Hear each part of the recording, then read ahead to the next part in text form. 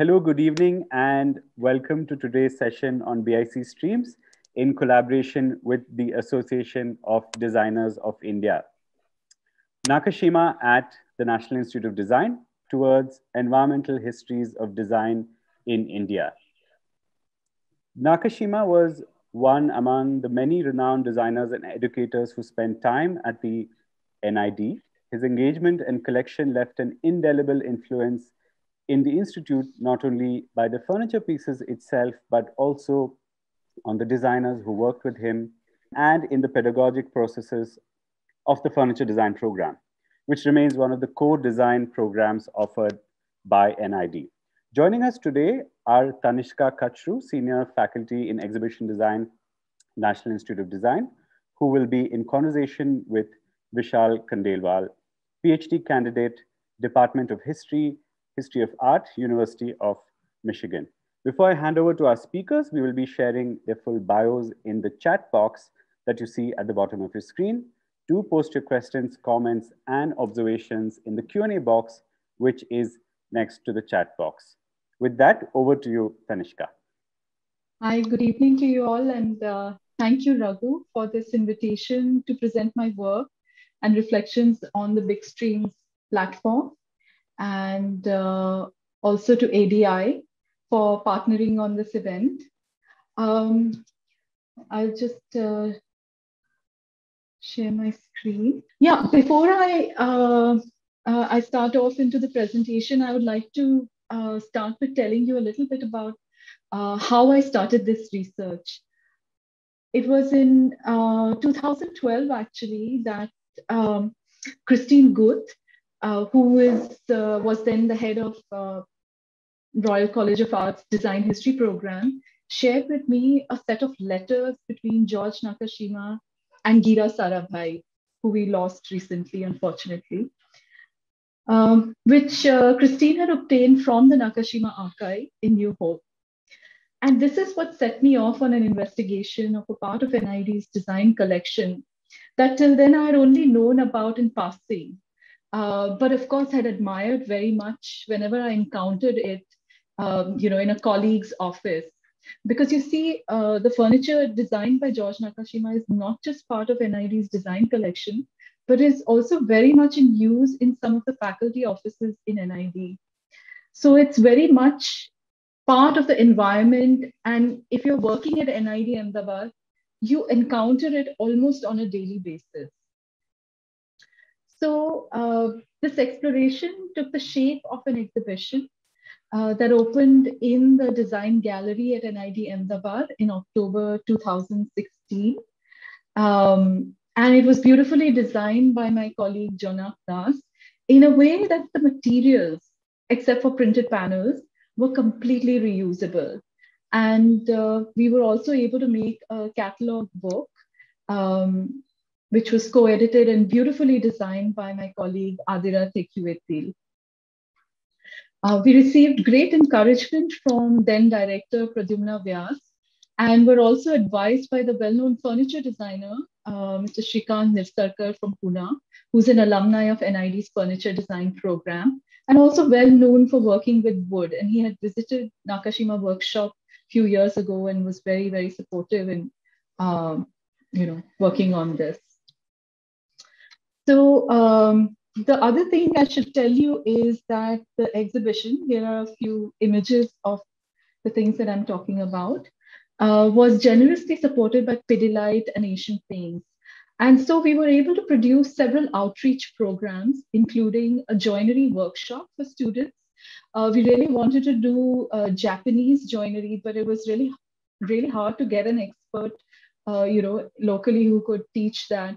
And for a while, we tried, you know, getting thinking of getting somebody from Japan, but eventually it didn't work out.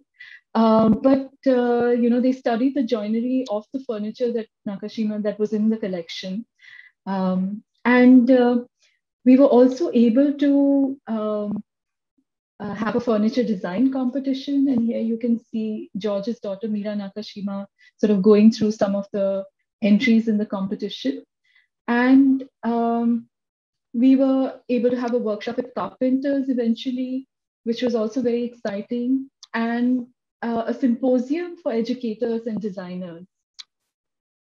Um, at the symposium, we were very fortunate to have Mira Nakashima, um, George's daughter, also a well-known designer in her own right, who has been running the Nakashima workshop since her father's demise in 1990 at the age of 85. She was a keynote speaker, and we were also we also had Kosuke Nagami of the Sakura factory in Japan, which I shall tell you a little bit more about later. Uh, and his visit was generously supported by Japan Foundation. Uh, but I would like to tell you that Sakura is the only other makers of Nakashima furniture outside of the United States of America. So um, my engagement with these um, histories has led me to contemplate many questions over the years. Uh, but the one that I would like to focus on today um, and reflect on through this talk is how do we connect the deep histories of materials to cultures of design and consumption? And to explore this question, I'll be looking at 1964 as a historical moment that catalyzes several trajectories of design at NID and its pedagogy. I will be presenting a few of these trajectories um, as intersections with Nakashima's practice and material philosophy. Um, so Nakashima's, George Nakashima's work is described by the Museum of Modern Art in you know, their online collections catalog. Uh, and uh, MoMA is the world's leading design museum in New York, as I quote, a synthesis of old traditions with modern requirements. But in my mind, this description doesn't do justice to his deeply environmental practice. The practice of making furniture in wood by Nakashima was directed at the attitude of um, giving a second life to a tree. And his book, The Soul of a Tree, um, has inspired many others to do as he did. For him, I feel um, a good design remains a good design um, no matter you know uh, what changes happen and uh, in, in trend. And he rendered this type of inherent honesty in his work uh, by taking up woodworking as a revelation process with a series of consecutive judgments at the right stage. He believed a piece of wood itself reveals what it wants to be when you engage with it. And um, in her book, uh, his daughter Mira uh, Nakashima, uh, in a book Nature, Form, and Spirit, writes, I quote, uh, his acts of creation relied on a deep understanding and respect for the nature of wood itself.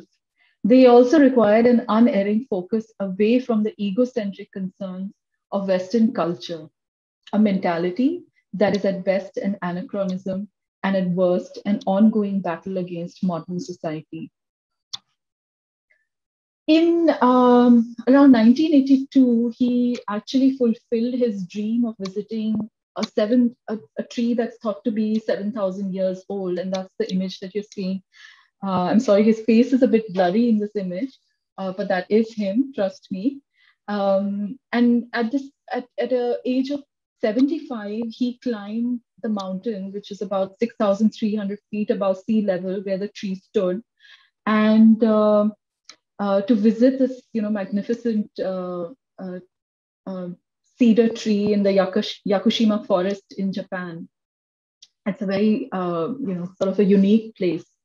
And later he wrote about this experience, I quote, it is an awesome phenomenon that a single unbroken stream of life juices has coursed through its cells with countless great cultures and civilizations have come and go. Taking this idea of wood as a living being ahead uh, Nakashima's furniture was designed to gracefully grow with the normal wear and tear that's incurred to a furniture by living with it. Um, and he uh, very fondly, you know, he calls this um, Kevinizing in honor of his son, Kevin, who sadly we lost just last year. So, um, yeah, so I I, I really feel this this work of his can be seen as an embodiment of his dedication, devotion, concentration, and love for wood, expressed through selection of right material, mapped to a fitting design to render grace, beauty, utility, choice, and instinctive tuning of tools, setting up of a crisp joint, ability to gauge tolerance of wood to fit a joint, selection of right adhesives, and finally the finishing to bring out the true depth in grain. Executing a joint to perfection sits at the core of Nakashima's furniture, and he's very well known for some of his joints. This not only pronounces the excellence of his furniture, but also serves as like a spiritual training for the workmen producing these pieces. Uh, during the 2016 event in Ahmedabad, I had the opportunity to uh, meet and you know have conversations with Mira's husband, Mira Nakashima's husband, Jonathan Yarnall, who also uh, came to Ahmedabad with her.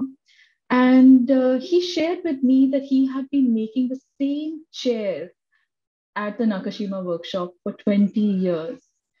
And I was stunned, you know, how can you make the same thing again and again for 20 years? He simply said that it was like a meditation for him. So, um, coming to how George Nakashima came to the NID, um, but uh, before that, I'd just like to set the scene of you know what it meant. Um, he came to NID in 1964 when it was still known as the National Design Institute. And um, this was just sort of three years after it was set up in Ahmedabad. Uh, it was a very important year. Uh, the iconic NID building was in process of being designed and built as a collaborative effort by the founding faculty led by Gira and Gautam Sarabhai, the founders. And 1964 also saw the arrival of several leading figures of international design fraternity, you know, very important modern designers from all over the world at the newly formed institute. So this is a moment when multiple strands of influence in the form of educational philosophies, design practices, making practices, and aesthetic ideals came together to shape and mold the nascent Indian design education.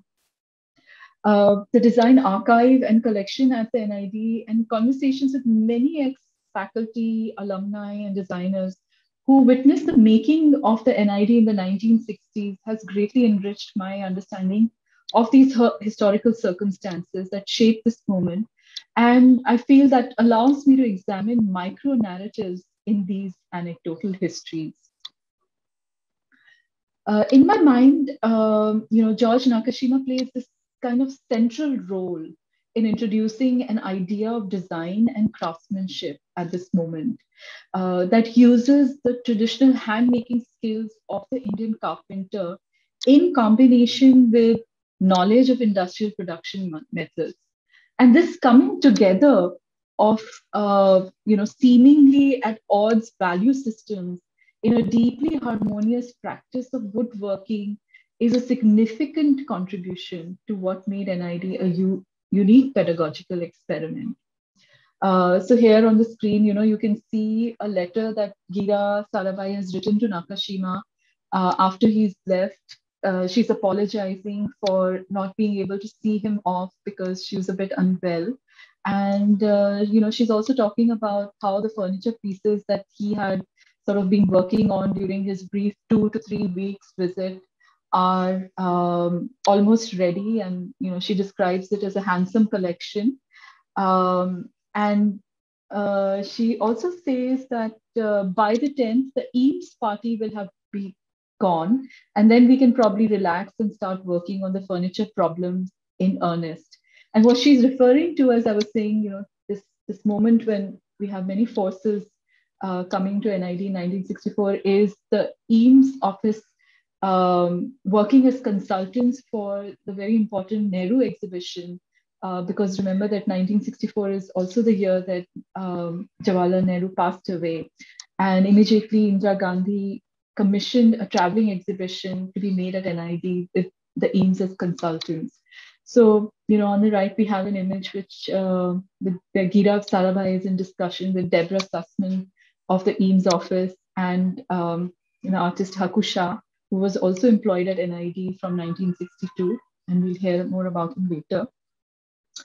Um, uh, and uh, so this um, uh, so this moment, you know, is uh, is really important to explore. But to understand what shaped uh, Nakashima's practice, I would like to give you a glimpse of his life and background briefly, especially for those who don't know of him that well. Uh, so he's born in a place called Spokane, which is in Washington State, which is a uh, western, northwestern coastal Pacific coast of the United States of America in 1905.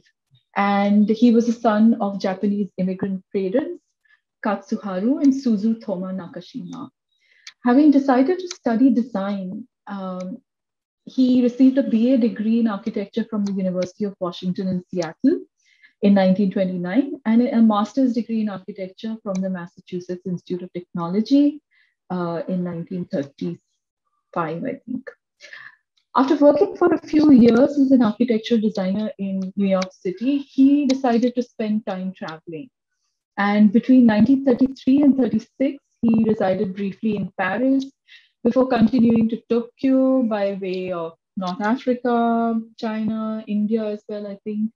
And in Tokyo, he joined Antonin Raymond's architectural firm and volunteered to serve as a representative uh, for the office in the design and construction of the ashram of Sri Aurobindo in Pondicherry. Within a week of arriving in the ashram at Pondicherry, um, George Nakashima became a disciple of Sri Aurobindo and was given the name Sundarananda, which literally translates to one who delights in beauty. Sri Aurobindo established the ashram in 1926 with his disciple Mira Alfassa, uh, after whom George named his daughter. Uh, and she's known to the devotees, of course, simply as the mother. Together, uh, they guided the spiritual community that included followers from all over the world and commissioned, they had commissioned a dorm, dormitory building to house the followers. Uh, funds for the building were donated by Sir Akbar Hydari, Prime Minister of Hyderabad State, and therefore it was named Golconda after the famous diamond mines. Nakashima spent three years as project architect, developing the construction methods and details for the building, which is really one of the remarkable and earliest examples of use of concrete in India. And there's a wonderful book about it, also authored by Pankaj Vir and uh, Christine Mueller. During these years, he kept a diary of the construction process. Uh, keeping a diary was actually a method followed by many members of the ashram as a way to communicate with the mother. And, uh, you know, they would submit it to her for commentary. Uh, I would like to read you one entry. Just a uh, picture of furniture, the interior of the one of the rooms at Golconda. Right. Um, so the entry that I'd like to read you is here. Um, even during my fever, there was a fine feeling of strength entering my body, but these last few days, there has been a deep feeling of melancholy overcoming me. It usually makes me want to withdraw into myself. As a young boy, at such a time, I would go into the forest or mountain or lake alone to try find the answer, writes Sundarananda. The mother responds, try to find out the peace, strength, and light that are behind the superficial melancholy, and you will make a big spiritual progress. So, what is George referring to? Uh, you know, uh, his sort of time as a boy uh, is really interesting for me because um, Washington State is uh, where Nakashima grew up uh, consists of very deep temperate rainforests in the west and mountain ranges in the west, central, and northeast parts. Uh, these forests of this region, which is generally known as the Pacific Northwest, contain more evergreens than almost anywhere in the United States. And evergreen trees are really special because they do not lose their needles uh, during, many of them do not lose, lose their needles during the fall, the autumn. And Washington's forests are home to about 25 native species, uh, including you know such magnificent uh, species as the Douglas fir, hemlock, the ponderosa pine, which is uh, you know considered the tree of the state, white pine, spruce, larch, and cedar. Growing up in Spokane, you know, um, George Nakashima was close to the forest where these trees grew. And he writes in his book as well about roaming the mountains um, as a young, young person. However, uh, as while he was working uh, in um, uh, in uh, in Pondicherry, second the Second World War broke out. Sorry, I'm just going to go back a little to this image. Yes, and what happened was um, as the war broke out, he was in a quandary, and eventually he decided to move back to the United States. Um, he also got married in the meantime, and um, uh, his daughter uh, Mira was born at a time when the family was eventually interned in Idaho at Camp Minidoka. The camps are a sad legacy of how American Japanese were treated as enemies during the Second World War by the Americans. Uh, in the camp, uh, he met master carpenter Gentaro Hikogawa, and uh, together, using wood scraps and desert plants, they worked to improve their staff living conditions. And the image that you see here is actually from you know that time. Um, however, a year later, it was his former employer, Antonin Raymond, who came to the rescue and sponsored the family's move from Camp Minidoka to Raymond's farm in New Hope, Pennsylvania, right the other side of the uh, country on the East Coast. By 1944, the young family moved to a small house in New Hope, where Nakashima continued designing and making furniture. In 1946, he met uh, furniture maker Hans Knoll and agreed to design a mass-produced line of furnishings. His furniture making business was well established by the 1950s when he received the Craftsmanship Medal from the American Institute of Architects in 1952. And in um, it was uh, in the mid 50s, around 1956, that uh, we see that uh, George Nakashima received an invitation from India to design contemporary furniture for the Government of India's Cottage Industries Department. And the idea was that this furniture could be exported by India to foreign markets. Um, very interestingly, in letters between uh, bureaucrat D.N. Saraf and Nakashima, uh, he is invited to design modern furniture that can be made by woodworkers in Kashmir, uh, famous for its walnut uh, carved uh, wood furniture and um, to entice Nakashima to come and you know do this work in Kashmir, they even offer um, to pay him in wood, saying that he could select pieces of walnut and any other wood from Kashmir as his payment. And um, this to me is really interesting, and uh, because in uh, her book Nature, Form, and Spirit, Mira Nakashima also writes about how her father uh, would spend money. Her mother was sort of, you know, she would control how money was spent, and uh, but she would never object when he spent money on wood. Uh, she would never let uh, him or even Mira later. She would not uh, spend uh, allow spending of money on advertising and marketing, but um, you know, as much wood could be bought as was needed and even more. so, and Mira remarks that it at points it became very hard to imagine how to store the wood. So very unique form of payment that uh, was being tried to entice George Nakashima to come to Kashmir. Um, he didn't make it though, and uh, uh, however, Gira Sarabhai, uh, she was also in touch with him in the 1950s, and initially their correspondence was about a building that was commissioned by her family, the Sarabhai family, from um, Frank Lloyd Wright, uh, under whom Gira had actually trained in Taliesin uh, as an architect. And um, uh, this building was, however, never built. And this famous uh, sort of project, there's just a few drawings of it on paper. Uh, so later, she wrote to George Nakashima again in 1962, inviting him as a visiting consultant professor to the newly formed National Design Institute in Ahmedabad, uh, which she was heading, of course, at that time with her brother Gautam Sarabhai. And after a series of correspondence, Nakashima finally agreed to spend about two weeks at the Institute in November 1964 on his way back from Japan to America. The terms of his contract were agreed in a series of letter exchanges uh, yet again, and he was to provide designs for furniture to be manufactured in India, for which he would be paid royalty on the sale price.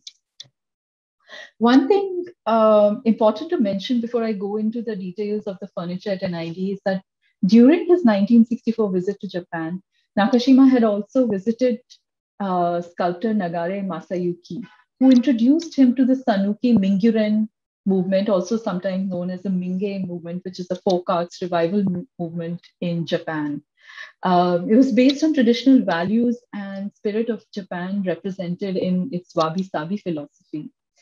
This was a manifestation of, has been seen by historians as a manifestation of the global arts and crafts movement in Japan. Nagare had introduced Nakashima to the Sakura factory at that time, and uh, which is manufacturing furniture and interiors, uh, founded by Shinichi Nagami and Ken Takamatsu, um, not very far back in 1948.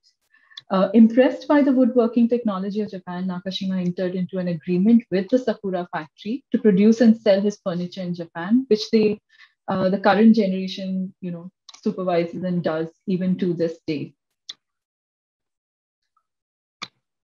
So many of the furniture pieces, let me move the slides. Yeah. That he designed for production at NID were based on his existing designs, but some were also results of his observations of the Indian context and his collaboration with designers at NID, uh, like Gajanan Upadhyay. GU, as he's fondly known, remembers learning about quality of wood from George Nakashima on their visits to lumber yards in Ahmedabad. Eventually, uh, the furniture that is produced in rosewood is sourced, which was sourced from uh, forests near Mysore and bought wholesale at auction and transported to Ahmedabad, uh, was, you know, uh, the remarkable quality of the uh, furniture that's produced in NID that it's all in rosewood. Up till the time that it was in production uh, till about 1974 75 but the sad reality to note today is that when you you know go looking for these forests they are hugely depleted. And um, you would not find any rosewood trees in what remains. And uh, believe me we attempted to actually i sent uh, I re requested a student uh, who lived close to Mysore to go and investigate if these forests are still there. And, uh, you know, what he found was just uh, very sad. So, um, and that leads me to think about, you know, modernist design. Modernist design was premised on this kind of rigorous separation of spheres, especially the spheres of nature and culture the representation of nature as other is, of course, a Euro-American modernist construct. This concept of othering, you know, whether we have acknowledged it or not, has been intrinsic to modern design practice as well. If a general disregard for the many material, spiritual, and more than human networks that one is inevitably a part of is what has led us here, then what can the question could to ask could be, you know, what can lead us out of it? And I believe that, you know, Nakashima's practice points to such a direction and offers an alternative pathway. Uh, here you can see, you know, 1964, uh, around 1964, I think, um, the NID library, while it was still in Sanskar Kendra, which is uh, the building across from the NID campus where it was housed while, you know, the building construction was going on. And of course, this is the iconic building um, designed as a museum for the city by um, Le Corbusier. And in the corner, and the reason I'm showing you this photograph is because here in the corner, it's quite dark, but you can see uh, that this is actually one of Nakashima's designs, this chair here.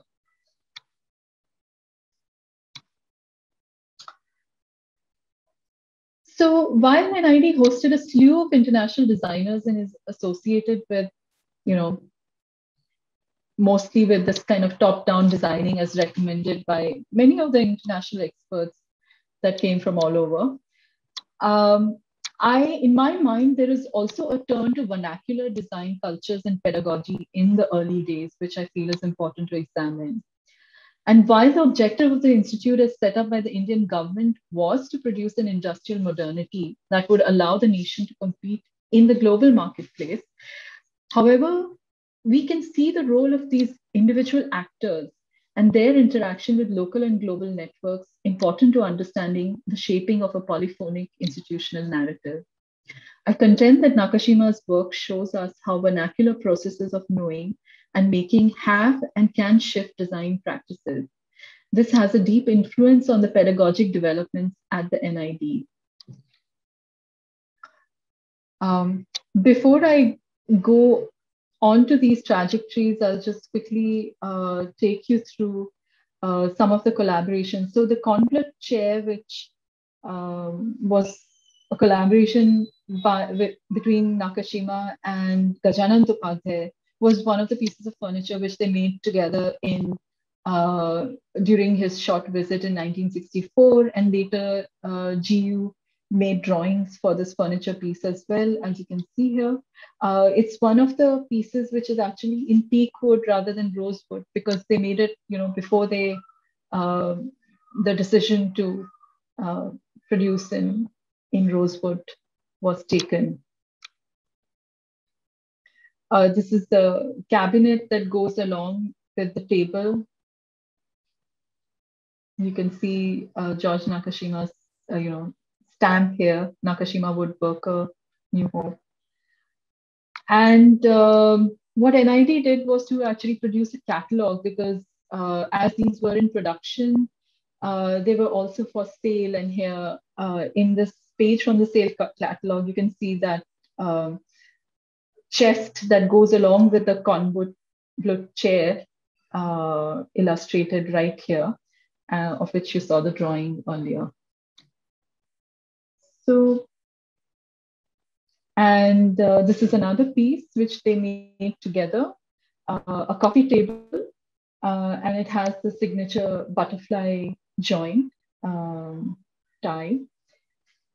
Again, made of teak wood, uh, because this is before the you know production for sale started in 1964 in collaboration with Gajanand Upadhyay. And uh, this is the famous grass-seated chair uh, being made in the NID workshop in 1965. Uh, it's quite an in interesting image uh, as you see, uh, you know, the, the weaving being done and uh, empty chairs in the background waiting their turn to be woven. this is a chair that he had actually designed earlier um, at a time when you know he didn't have access to a lot of materials and he, uh, he had used rope uh, even in his original design to weave the chair. And, um, um, you know, this chair was also shown in one of the good design exhibitions at the Museum of Modern Art, which took place in the 1950s and became quite iconic. Um, and uh, yeah, and one of the interesting things, uh, outcomes of this, you know, the fame and the of this chair was that uh, while we had the exhibition in 2016, somebody was so enthused by this chair, one of our visitors actually took one away with them. And uh, the chair became front page news on uh, all the newspapers in Ahmedabad. Um, I also want to draw your attention to this chair. Now, uh, you can see this here. Uh, it's a low seated chair, quite low. And Nakashima was thinking about, you know, postures and how Indians uh, in India, how we sit close to the floor. Uh, and it's also a chair to sort of sit back in comfortable. Um, he had sort of designed it in the United States and it came with these cushions on it, which are made of sort of rubberized foam. And there is a correspondence between Gira Sarabhai and Nakashima where they're discussing, you know, what how to replace that rubberized foam with a material because that material was really expensive and would make the furniture completely inaccessible to most people if they used that? And how would then they replace that material to uh, produce something that is, um, you know, cost friendly? Um, this is a, a, lovely photograph of Vikas Satwalekar, former NID director, who we also lost last year, sadly, uh, using the trestle table and uh, you know the grass-seated chairs for visitors in front. Um, so you can see it has a really kind of a period feel to it. So uh, coming back to you know thinking about the trajectories and departures and uh, that emerge in NID. Um, one of the early departures is made by Haku Shah and Eberhard Fischer uh, with their work at the NID research cell. Uh, Haku Shah was appointed as a researcher in July 1962, and you saw him, you know, earlier in that photograph with uh, Deborah Sussman uh, from the Eames office, along with Gira Sarabhai. He was made part of the research team for the uh, exhibition as well in 1964, the Nehru exhibition. And uh, later, he was part of researching and authoring the first books, which were published by the Institute on Ethnography and Craft. The first one is Mata Pacheri, which he authored with American writer Joan Erikson. Unfortunately, he's not credited as a co author on this book. And the second one, for which he is credited, is called Rural Craftsmen and Their Work with German art historian and ethnologist Eberhard Fischer, uh, which was um, the research was done in 65, 66, and it was eventually published in 1970. Uh, Fischer uh, went on to become director of the Museum Rietberg in Zurich and continued collaborating with Haku Shah even after they both left the NID.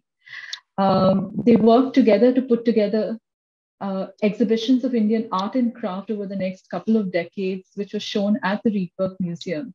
Uh, the museum itself is known for collecting and displaying Asian, African, American, and Oceanic art, and seems to have de developed a particular interest in craft and materiality through none other than Johannes Itten, who was master of the preliminary course at the Bauhaus till 1923 when it was still in Weimar. And uh, he was the first director of this museum in the 1950s. Through the archive of uh, you know, this uh, book, Rural Craftsmen and Their Work, we can now begin to see their work as an anthropology of living conditions. Fischer and Shah spent much of 1965-66 in studying rural craftsmanship in the village of Ratari, which is located in southern Gujarat in the excuse me, uh, Saurashtra region. Alfred Bühler, who's also a very well-known anthropologist from the University of Basel and known for his study on Patola of uh, Patan, uh, noted in his preface to the book that it should be considered as an example for similar future publication and encourage the Institute to keep documenting crafts. Fischer and Shah's methods of documenting technical procedures and the material equipment for what they call traditional rural design through a combination of photography, drawings, maps, and text became the paradigm of craft documentations produced by the students at NID in the 1970s. They used a classification based on materiality to develop a picture of the whole environment.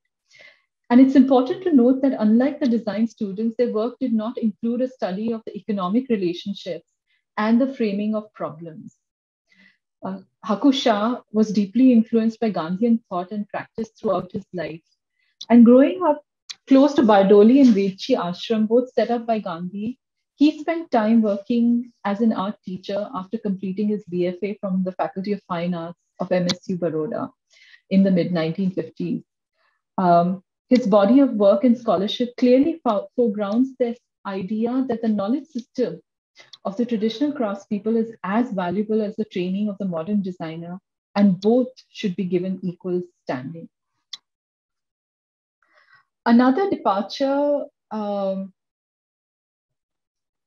that is made much a little later in the uh, foundation program, uh, which drew on the pedagogies developed at the Bauhaus and uh, Ulm um, Hochschule-Ulm, but also made diversions in response to how the leadership and the teachers at the institute perceive the needs of the developing nation.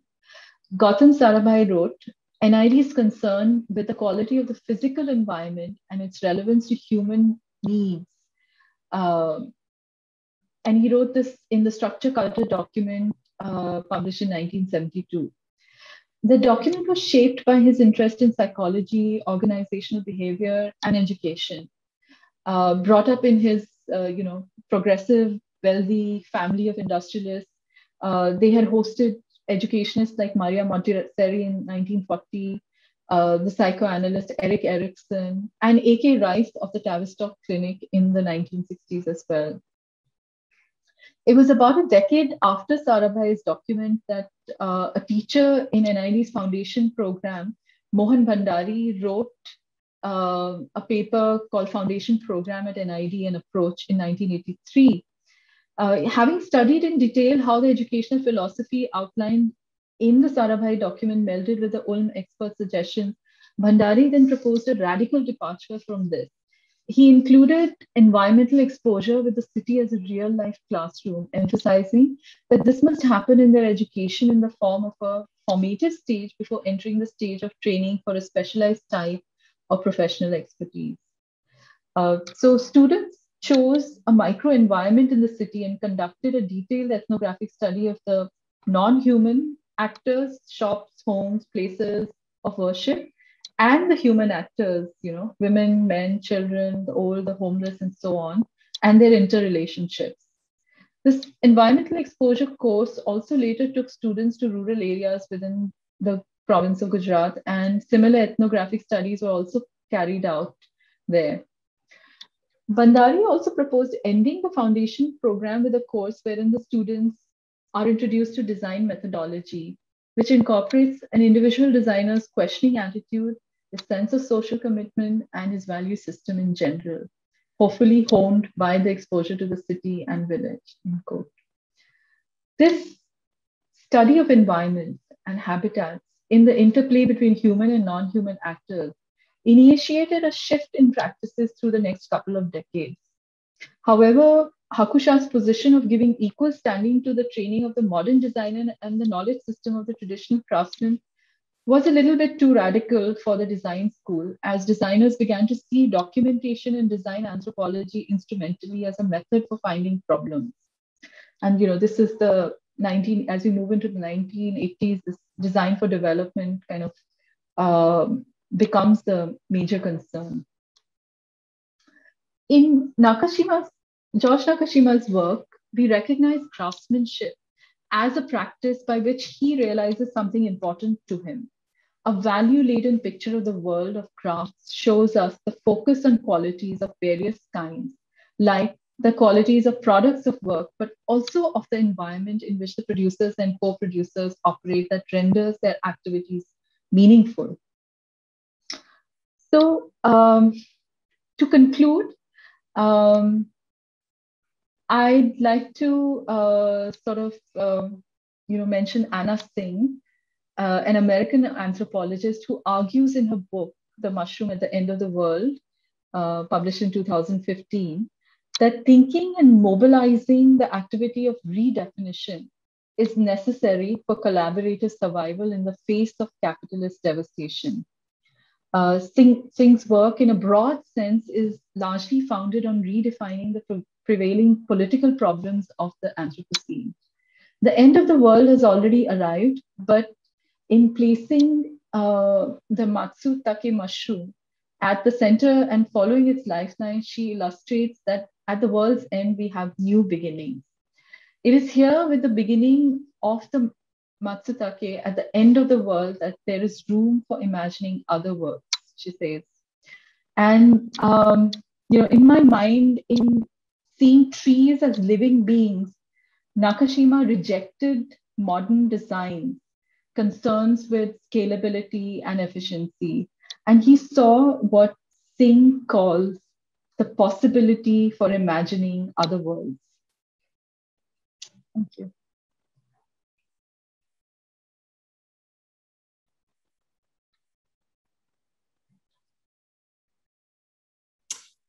Great. Um, if I may.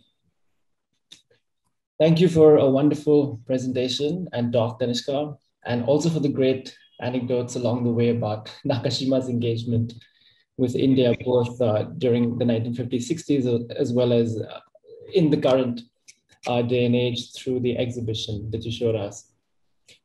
The work you've shown us today contributes to important discussions about the place of the natural and human environment and environmental concerns within design thinking in the academy and beyond.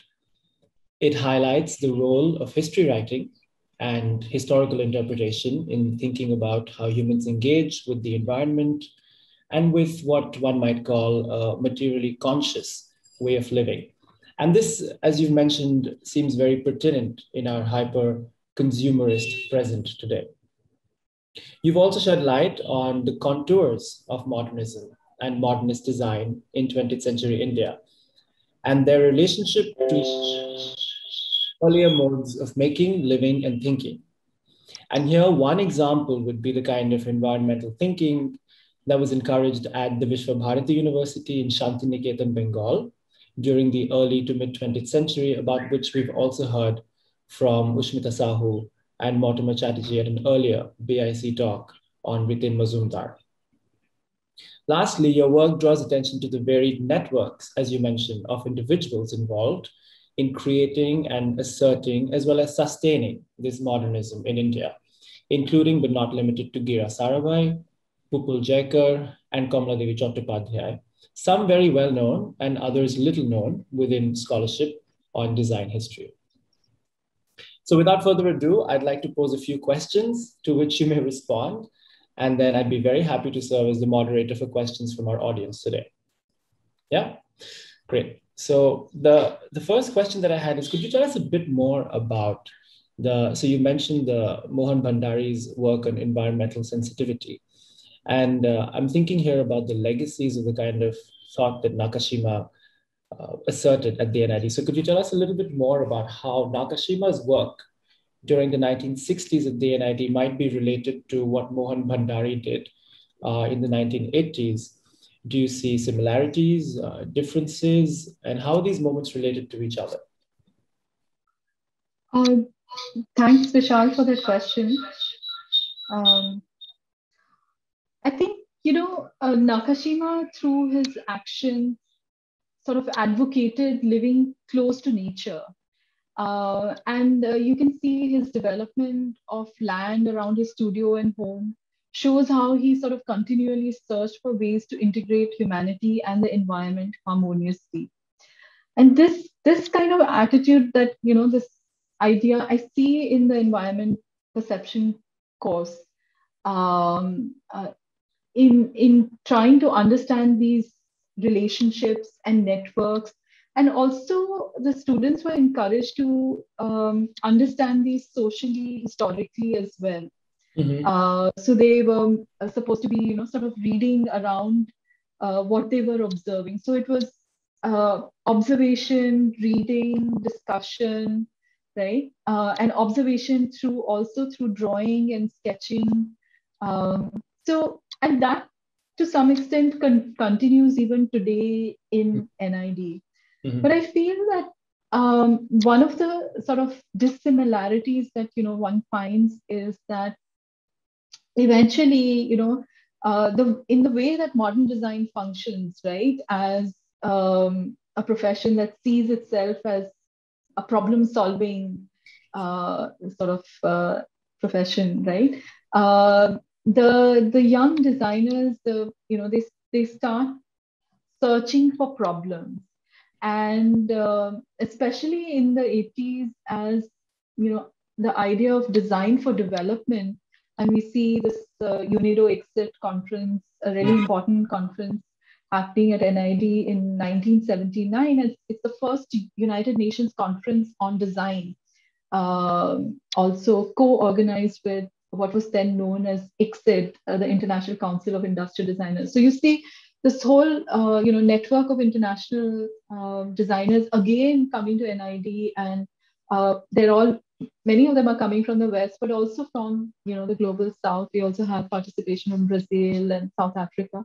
But mm-hmm. there is uh, um, you know this this idea that designers can contribute to development uh, through this identification of problems. So that is where I feel it kind of diverges. Mm-hmm. Um, and in what Nakashima is, you know, sort of aiming at is a little different in terms of um, his idea of developing this understanding. Uh, he sees it as, you know, a, kind of a progression towards a harmonious coexistence.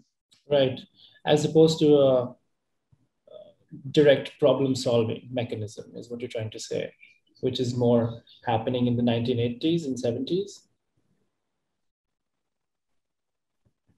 Yeah, yeah. I, I, mean, it, you can really see that emerge in the. Uh, I mean, I'm I'm not saying that it wasn't there in the 70s. In the 70s, however, the 70s had a slightly different, uh, you know, sort of narrative to it in the sense that in the 70s, um, as the uh, the program, the, the actual education programs were launched in NID in 1970. And before that, you know, the 60s is actually a period where uh, all these forces are, you know, sort of coming together to actually develop this idea of design education and design practice. Uh, and people were in NID are trainees rather than students. Um, so when the education program is launched in the 70s, there is a period when, you know, that it's just about actually stabilizing that program and uh, the curriculum and uh, there is less um, you know there is engagement. The faculty members definitely have a, a lot of engagement with industry and uh, also um, continue in producing craft documentation you know in the way that haku shah and eberhard fischer show. But the 80s are really about really where problem solving and especially problems of development you know uh, come to the fore. Yes. Right. And you know related to fischer eberhard fischer and haku shah second question that i had was could you perhaps tell our audience and also me a little bit about how the work by individuals like nakashima uh, fischer and shah fell in line with broader ideas about national consolidation uh, in post-colonial india through the crafts right uh, outside the design school as well? Yeah, um, that's a that's a really good question, Vishal, uh, because you know we do see uh, during that time, um, especially through the kind of program of exhibitions that is developed at NID, this kind of contribution to um, this idea uh, of you know the nation right? The, uh, building a national identity for india. And in nid this much of this is enacted through exhibitions um, and outside of nid as well you know we see the formation of these new institutions. For example the uh, handicraft museum in delhi it sort of comes up in the 1950s uh, the establishment of the you know uh, the handicraft and handloom export council. Um, and there is this idea that um, you know craft um, the craft that uh, craft actually skills can be mobilized in producing uh, economic benefits uh, for the in, for India, right? Mm-hmm. Uh, and you can see that in the attempt to actually invite um, international designers, well-known modern designers, to come and you know design in India, which could be then produced by the uh, craftspeople of India and could, um, you know, um, add to India's GDP. And mm-hmm. these attempts, you see data as well, you know, the festivals of India also mm-hmm. are a series of events through which these ideas of national identity um, and uh, nation building are enacted, where uh, Indian designers are put and Indian craftsmen are put together with Western designers to produce, um, you know, goods for the global market. Yes. And we see, you know, exhibitions like the Golden Eye, uh, as sort of a major sort of produce a major space for these enactments to happen. Mm-hmm. Yes. I, I, just also recall that in uh, 1982, actually, the Festival of India in Britain, which was the first of the series, was one where NID was actually asked to design and curate a design exhibition. And that was perhaps the first modern design exhibition uh, uh-huh. from India that was, you know, shown globally. Uh, and it's quite interesting to see uh, the catalog of that exhibition where, you know, a range of things were shown, mm. which in, included both industrial processes as well as craft processes. Uh, so you can see this sort of coming together even uh, in the design exhibition that NID produces. Absolutely. And it'd be so great to maybe think of comparing that with the 1959 Design Today in America and Europe exhibition that really kickstarted a series of furniture at the NID that then became uh, a teaching collection for the Future Institute. Um, so it'd be interesting to contrast the 1959 show and what it showed uh, with, say, what happened in 1982, as you're saying. Yeah. Yeah, that's uh, right. And then later, uh, but another interesting thing is happening in the 80s is that, you know, um, at NID, uh, with the craft documentation, you know, people are starting to work with bamboo. Mm-hmm. Uh, and there are some interesting developments there that I, I would like to share. And I have a few slides on that that maybe I'll just quickly pull up. Um, one second. Yeah.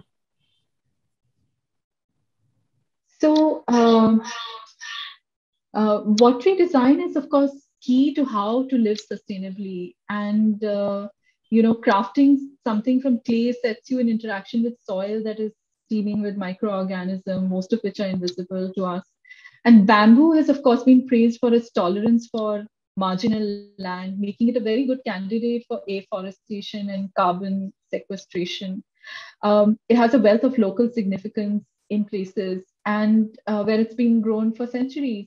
And designers in NID who were, you know, sort of trained um, for, uh, you know, observing material culture and these traditional craft practices uh, in the 70s also started to um, meticulously record you know, uh, these using expressive sketches, diagrams, photographs, field notes. And um, this method, in fact, is applied to the study of bamboo in the 1970s and 80s by faculty members uh, like Aditi Ranjan, uh, MP Ranjan, Nilam Iyer, and Ghanshyam Pandya, who published uh, a book called Bamboo and Cane Crafts of Northeast India, which was based on this fieldwork that they carried out actually in 1979-80. Um, and this uh, work was actually sponsored by the All India Handicrafts Board. Uh, eventually, this inquiry led to experimentation with models for sustainable development.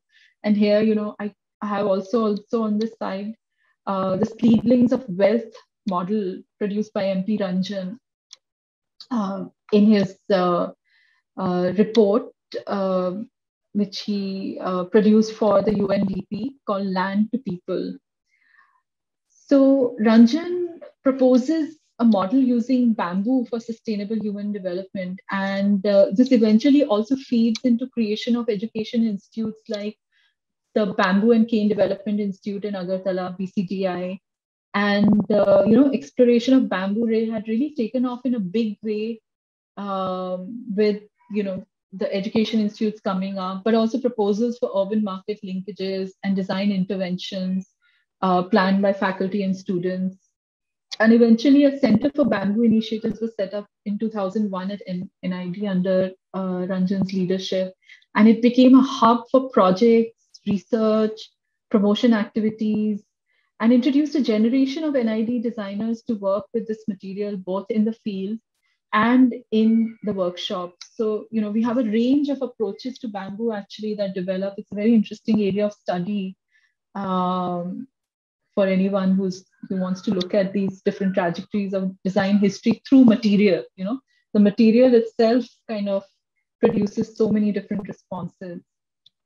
Yes, no, absolutely. And um, on that note, I think we can turn to the audiences because one of the questions uh, that I'm seeing here, and I'll just go in order. So one is, did Nakashima uh, influence, this anonymous question, influence contemporary furniture designers in India? And um, this is another one related to that question, and you can take them together. Are Nakashima's works, philosophies, and methods integrated into present day learning of furniture design courses? This is by Rabindra Vasudeva, oh, Vasavada, sorry. Uh, okay, I'll try to answer both. Um, yeah, I mean, uh, Nakashima's was hugely influential, I think, in India also because of his association with NID. So, uh, as you mentioned, Vishal, um, you know, the design collection at NID has always been a study collection. Uh, so generations of furniture designers, even though they don't have direct contact with, you know, these iconic designers, Western designers, or whoever is in the collection, they've always managed to kind of um, and try to understand their methodologies through direct study of the furniture. So this collection, you know, is regularly used in classrooms and, uh, uh, you know, there are drawings available for students to study. Students make their own drawing. They also, you know, use the method of replicating the master's work, something mm. that's also used in fine arts, right? You make these kind of replicas of masterworks as a way of studying and learning, you know, the nuances of the craft. So, uh, so in fact, we have several replicas also, in, and it takes a good knowledge to understand, you know, which ones are the originals and which ones are the replicas made by students.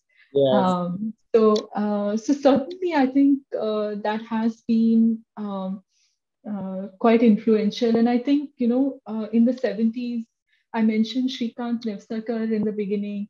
You know, he is one of the designers in whose work you can see that uh, uh, that the ideas and the philosophy of Nakashima being enacted in the way he treats material and works with material. Mm-hmm. Uh, so I think materiality has been very central to NID. Um, and uh, even today, you can see, you know, there are certain departments which are uh, still around, uh, sort of formulated around the understanding of the material. So whether we have textiles or we have ceramic and glass, and uh, we have furniture. Of course, furniture is not defined by the material, but I would say that you know till today, uh, largely uh, students are encouraged to work with wood and uh, uh, you know bamboo. These are the two very uh, prominent sort of materials. Yeah. So uh, so yeah and and and sorry one more thing is the emphasis on joinery so at nid everybody if you're a furniture student then you know you would spend a semester actually learning about joinery and there's a huge collection of um, samples of joinery and i think that was really key to understanding nakashima's attitude towards wood as well you know not just his the idea of selecting wood in a particular way uh, where he he sort of um, you know, didn't really reject any piece of wood. He called himself, he's famous for uh, calling himself a rat picker. So, mm-hmm. you know, the wood that other people rejected or considered as waste, he would find ways to, you know, use.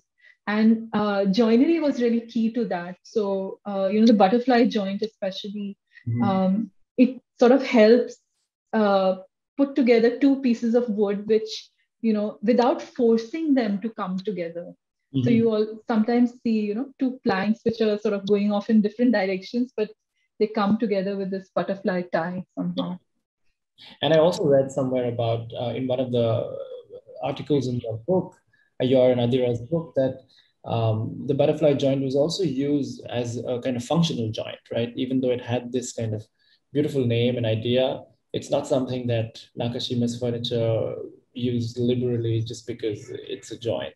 They use it for a very specific purpose. So there's this kind of along with notions of beauty and use um, that go along with the furniture. Yeah, absolutely. Yeah. Um, today, you see the butterfly joint sort of being used decoratively, sadly, by many people. Uh, but for Nakashima, it wasn't so. You know, he he used it like you said functionally. He used it only when he he needed to two pieces of wood to come together without you know forcing them. Right. Right. Yeah, and, and on that, I'll I can lead us to another question. So there's a question that says, can you tell us more about Nakashima's philosophy of working wood as a live being, even after a tree is cut? The placement of timber in the same direction as it was growing, the idea of being of how loads are transmitted in the tree before cutting. Are there more such examples? And uh, the person says, thanks for an excellent talk, Tanishka. okay, of uh, technical stuff. Um, I, I wouldn't I wouldn't go into it in detail, but um, I what I, what I would suggest is you know to um, pick up if you haven't read Nakashima's book Soul of a Tree. Uh, it's a really amazing, uh, fabulous piece of sublime reading, uh, where he talks. He sort of moves between you know his uh, talking about his philosophy of um, how he sees wood uh, you know, trees as a living being. And uh, even after the tree is cut, he sees life in the wood, right? Uh, and he talks about this in detail. And he also talks about, um, you know, how he approaches the cutting of timber, uh, the placement of it, and um, understanding how the timber is, you know, uh, what is the uh, what the life of the timber has been, you know, uh, in seeing how, you know, it has been through a certain kind of history. It has lived a certain kind of life in a certain environment and how that has impacted its grains and its, you know, its growth. Uh, he had a really deep understanding of that and his approach to, you know, using the timber would, you know, be impacted by this understanding. Mm-hmm. His book is a great read and would be a great place to start to understand uh, all of this. Mm-hmm. Uh, there's a question on the kind of historical trajectory of design education. So the person says, thanks for a great presentation and discussion. How was formal design education and pedagogy in the 1950s and 60s a rupture from the more environmentally grounded thinking of the last decades of colonial India, such as in Sriniketan or Kala Bhavan in Vishwabharati. Uh, for instance, both Gautam, trained as a mathematician, and Gira uh, were heavily influenced to turn to design architecture after their experience as teenagers with the interior work in the retreat. Uh, do you have a response to that, Tanishka, about the kind of historical? Sorry, I couldn't hear that very well. Where is this? Who is this question by? Uh, it's the it's the one uh, Saptarshi Sanyal. Oh, okay, I see it. Okay.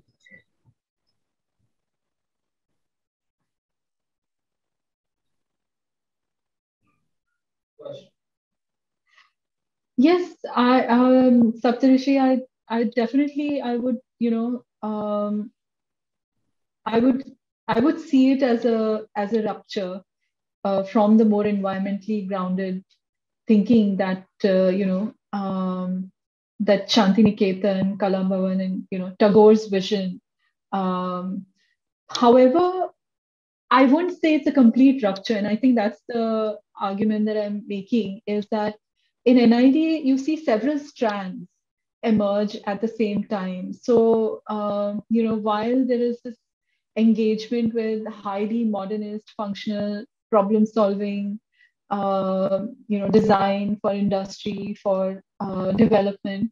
There is also um, you know this engagement with uh, vernacular design design in the villages through the practice of craft documentation through the development of understanding of materialities and relationships between uh, you know human and material networks that the craft documentation actually um, brings uh, uh, brings to you know um, the designers understanding of environment. And i think that has an impact as well. So i wouldn't say i mean these are not like they, they're kind of parallel strands that sort of uh, you see in nid um, and i think uh, so there isn't a complete rupture but definitely there are multiple sort of ways of thinking about design. And of course, NID was a you know government institution, which it still is today, supported by the state government. So um, the the kind of you know the agenda of nation building is also pretty strong in you know uh, the way NID is set up and uh, you know works in those early decades. Yeah, uh, that kind of uh, borders on Shehzada Murthy's question. How did the economic situation in India in 60s and 70s affect the pedagogy of NID? Was the curriculum developed in tandem with the government? Um, to some extent, yes. Uh, I mean, the economic situation uh, certainly impacted in many ways. Like I, you know, talked about uh, the Nakashima, you know, range of furniture actually had to be adapted for Indian conditions, and uh, you know, so, uh, some of the furnishings that went along with the uh, furniture, like cushions and um, upholstery, had to be actually adapted for Indian conditions so that it could meet the kind of economic uh, price range that uh, the people who would be sort of purchasing this furniture would be able to afford.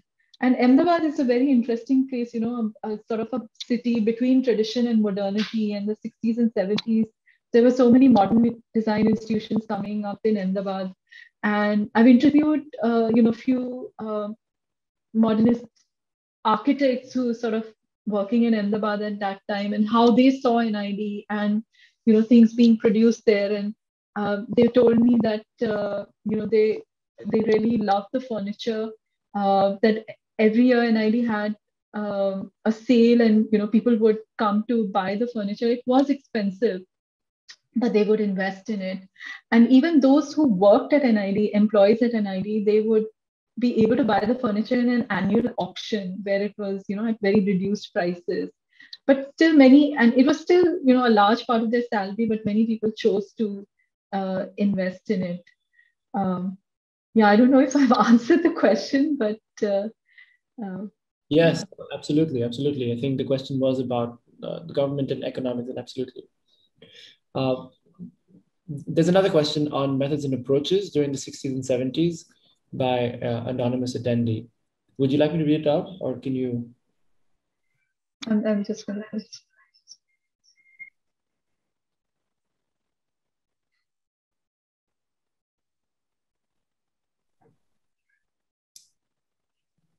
Yes, um, design anthropology is still very much uh, part of the training at NID, and uh, the environmental perception course continues.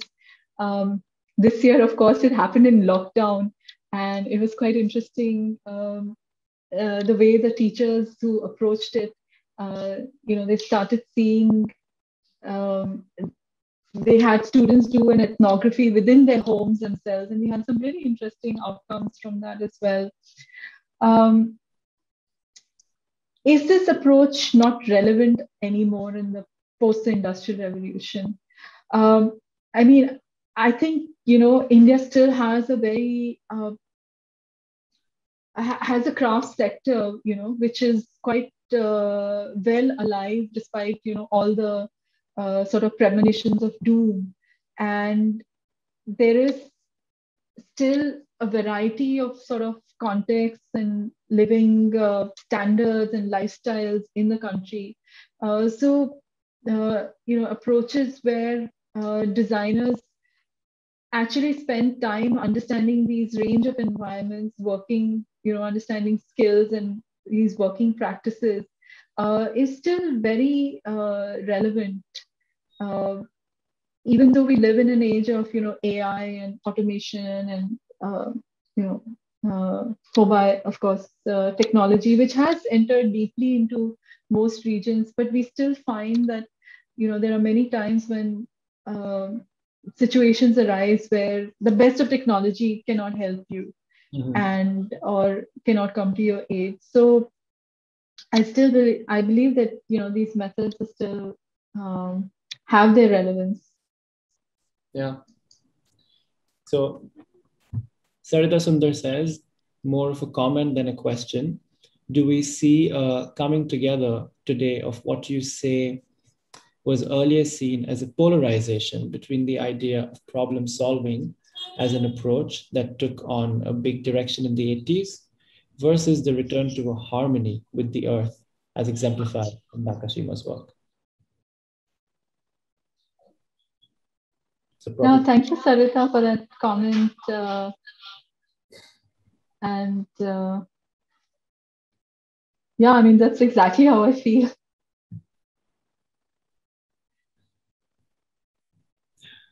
Yeah. There's another one by Mayank Seni, who is a woodworker based in Ladakh. And the question is how do you see the future of woodworking in India, both at hands of craftsmen and designers? Also, how do you suggest betterment in the present state of affairs? Wow, that's that's a big question. I I'm afraid Mayank, I wouldn't be able to uh, come up with an answer. But I mean, I would just say that you know I think what we really need to look at is uh, the kind of practices that uh, uh, are being you know emerging which show certain di- directions you know. I love the work of you know people like um, sandeep sangaru who's based in bangalore and is you know one of those designers who uh, worked with ranjan in the field. And uh, he's able to kind of work with both wood and bamboo. He works with wood also in uh, in kashmir. And i believe he's going to start in ladakh as well. Um, so i see that this you know, designers and uh, woodworkers sort of working together uh, can there, there can be new models which can emerge which was uh, which could be you know help sustain this craft this incredible skill and craft and technology uh, further. Great. And and our last question for the evening uh, because I think we're running out of time today, is how did George Nakashima evaluate the strengths and shortcomings of traditional woodworkers in India? That's a good question, actually. Um, so, uh, yeah, I mean, uh, the one thing that uh, is interesting about how NID was also set up is that uh, while, you know, the, the designers mostly came from I wouldn't say elite, but uh, definitely urban, middle class, and upper middle class backgrounds. It was the technical staff, right, who worked in the workshops, who ran, you know, actually uh, helped students uh, make their prototypes. And even till today, many of them come from the, you know, the traditional um, uh, craft backgrounds, right? They belong to those communities, whether it's uh, a sutar or a panchal, uh, metal workers, woodworkers, right? Uh, and or a prajapati. Uh, so many of the staff actually who were part of the technical workshops were from those backgrounds.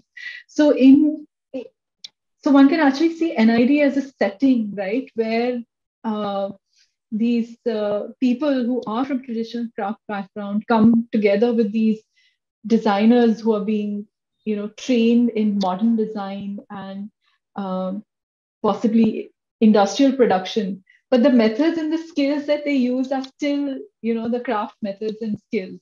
Um, with uh, uh, with with the technology that is available. So actually nakashima was very perceptive in understanding what were the limitations and what were the possibilities with the uh, with the the skill that was available amongst the uh, technical staff at NID.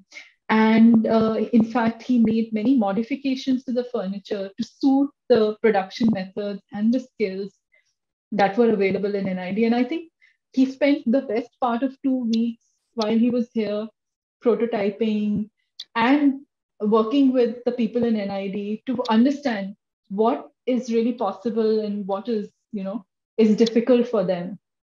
So uh, that's really evident actually from a close study of the collection and the methods used for production. Great. Hi, Raghu. Um, we're completely out of time, but um, I'm going to take the liberty, Tanishka. Um, we have a question from Hema Hatangadi, who's also, you know, a board member of BIC. So uh, her question is, um, are wonderful pieces like that uh, destined to live only at NID and in museums and in books? Uh, great furniture is so difficult to actually buy and use in India.